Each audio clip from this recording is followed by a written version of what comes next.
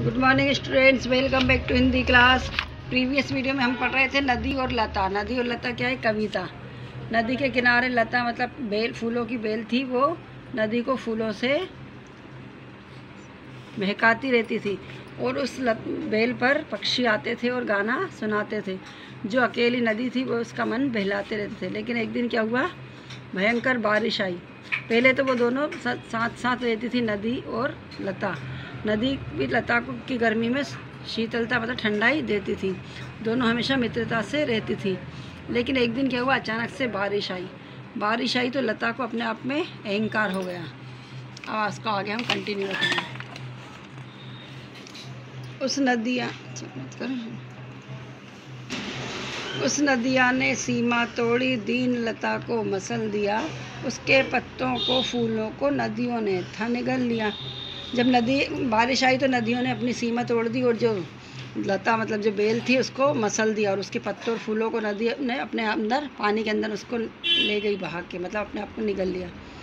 लता मरी, झड़ गए, फूल सब, वह शोभा थी, कहाँ रही?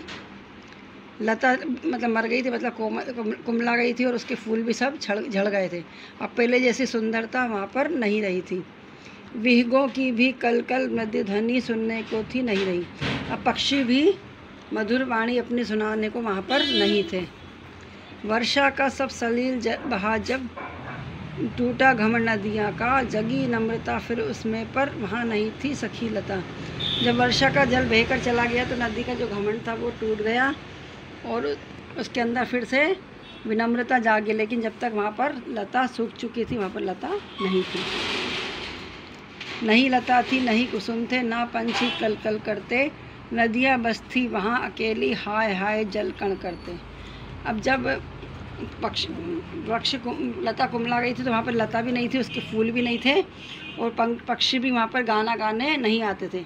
अब बस नदी अकेली रह गई थी और वो उसके जल, उसके कण भी हाय हाय कर रहे थे। सजा हुआ था तट जो पहले आज वही सुनसान हुआ। भर घमंड में उसे नदिया ने लता सखी को बहा दिया।